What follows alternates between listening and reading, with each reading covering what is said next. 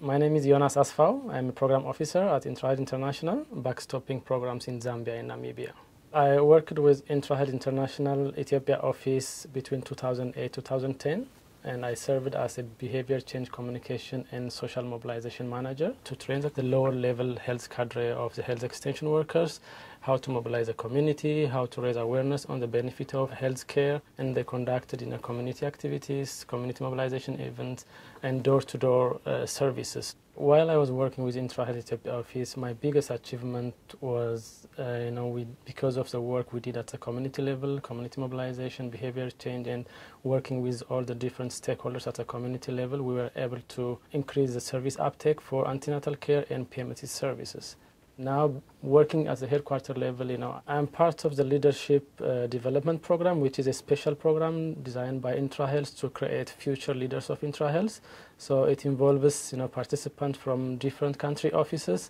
and I'm really proud of being part of that team because it really helps me to develop my leadership skill so that I can assume you know, bigger roles to contribute to the organization's mission. For all individuals or professionals who want to work with IntraHealth, I think the very important thing is, you know, to, to believe in the mission of the organization, which empowers health workers to provide better service to their communities.